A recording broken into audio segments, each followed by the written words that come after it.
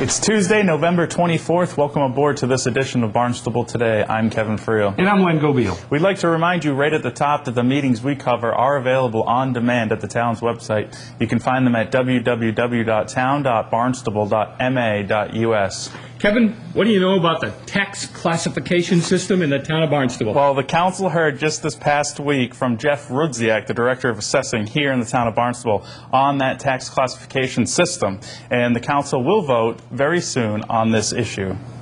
Uh, Before we get into what is uh, our annual review of uh, tax factor and choices and that type of thing, we need to inform you that uh, the tax factor hearing that you were planning to have on December 3rd cannot occur. Department of Revenue has been understaffed and cut like everybody else, and approximately 280 towns are still waiting in line to get review and certification from the Department of Revenue.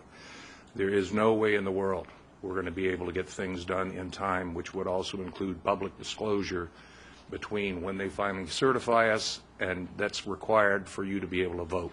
Just to keep the cash flow going, we would do it in the normal procedure, December 31st. It would be one quarter of last year's bill, just like the first two quarters were. And then we would proceed with a vote in January sometime after uh, regular certification for the actual bill to be issued and due May 1st. So that's the status we find ourselves in through no fault of our own or any of the other towns in this scenario. So with that in mind, yes, ma'am. So the consequence to the um, residents is that they will not see a bill uh, or they will not have to pay a bill until late January. No, the consequence is, consequence is the actual bill potentially cannot be issued on the 31st. So instead, they would get another quarter of last year's actual payments, just like they did for the first two quarters this year. So it would be to keep the cash flow going to the town without the actual tax calculations generating the actual bill. And that would be issued in December and December due, 31st as normal. and due. And that would be due once again January 31st, or February 1st. So we're just is the normal extending last year's Well, yes, ma'am. It would, s- it would be the same due date as we would normally have. It Mm-hmm. just wouldn't be based on actual tax. Okay. So that's got what you. we did three years ago when we found ourselves caught by DOR again. So this is a a similar situation, but it doesn't hinder the cash flow of the town. It just leaves that fourth quarter to reflect all the changes in the tax situation I for the real see. parcels. Okay, yep, thank you. Uh, What we have here for the presentation are actual numbers nonetheless. All our uh, recertification work and all our evaluation changes have been submitted for over three weeks now, so all that data has been used to, to show you what's going to happen. And barring some extraordinary occurrence, these are the actual numbers you're going to be voting on or considering when you do decide whether you want to do an exemption, a split rate, or any other type of action. So, given that, let's move on quick. Broad overview, probably more for the individuals who may have not had such exposure to it uh, as the new council members, but uh, we have these terminologies that tell us how much we're able to levy, under what circumstances, um, what we can add back in, and what we can consider new growth every year. I don't think we want to go into too much detail on that, because this is, this is the same thing every year that we uh, need to do. Uh, But what we really come down to are the tax shifting options, uh, which are three basic options that the council has. You could split the rate, or in other words, classify the rate as it's called, which means move some of the burden to the commercial, industrial, personal property group, which we will uh, refer to as a CIP for convenience. You can also adopt a 20%, up to a 20% exemption on valuation on primary residence homes.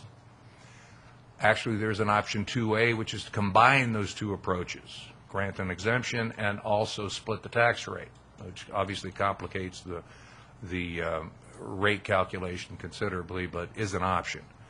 And the third one is not one that needs to be up uh, every year, but we keep presenting it because it had been considered at one time a uh, 10% ex- exemption on small commercial properties, which is related to businesses, actually. So we'll go over these uh, right after we get through some definitions. We all know the levy limit is how much the community can levy before you add anything else to it. And that's normally two and a half percent of what we had the year before for the folks at home. That means the counselors cannot decide to go over another two and a half percent of budget money every year just because they feel like it. They're limited by law to how much we can add to the budget each year. So there, it- this is not a, uh, a choice that they're allowed uh, any laxity in. Uh, But to that, they're also allowed to add debt exclusions, which cover things like schools, and we have a number of those still being paid down, or any capital outlay exclusions specifically. And we also add new growth to that number to arrive at a final levy limit that we are able to approach.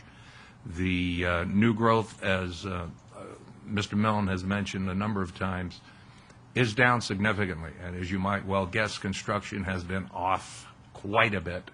Projects that were to be started are not started.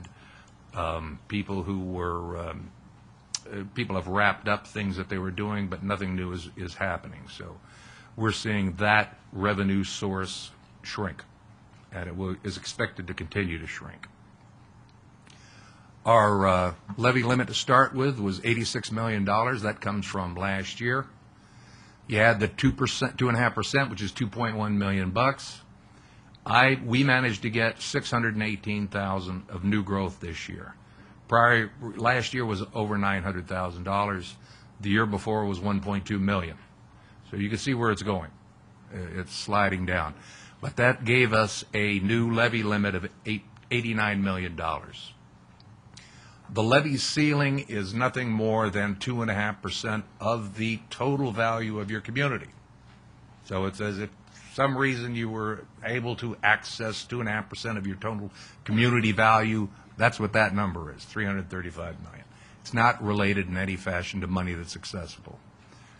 So once we add in the debt exclusion there, and then we have uh, money from the Cape Cod Commission, our maximum allowable levy this year is $91.8 million. So the options that you are going to talk about are going to be how to allocate that nine point, $91.8 million. Who's going to pay it? Here's the basic number that we're all interested in. Our actual total valuation in town dropped by about $1.1 billion this last year. That results with the slight increase, relatively slight increase in the uh, tax levy to a tax rate now of $6.85 potentially. Barring anything unusual, that will be the single tax rate. Now, last year, that single tax rate was $6.12. So as you can probably surmise, that increase is directly related into the combination of an o- overall about 8% reduction in total town value, along with the al- allowed 2.5% levy increase. So you got a little larger levy, you got a lot less value to split it among, you've got a significant uh, 73 cent increase in the tax rate. So I think I have actually said enough here to confuse myself. So if there are any questions, I'd be, be happy to answer them at this point. Otherwise, uh, uh, feel free to contact me at the, in my office if there's any clarification you need, and I'll certainly keep you informed as to where we are proceeding as far as the uh, potential legislation and when we can actually vote. Kevin, any meetings coming up? For Tuesday, the 24th of November, we have the Waterways Committee meeting in the Selectmen's Conference Room at 7 o'clock. Thanks for joining us on this edition of Barnstable Today. I'm Kevin Friel. And I'm Len Gobiel.